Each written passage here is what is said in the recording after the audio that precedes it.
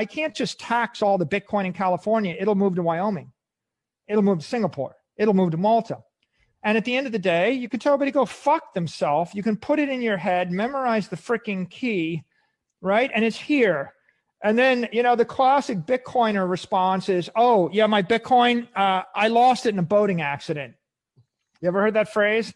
It's, it's kind of a trope, but what it means is at the end of the day, if you push me too far, I lost it. It's gone. Sorry. That's it. You're Tax that.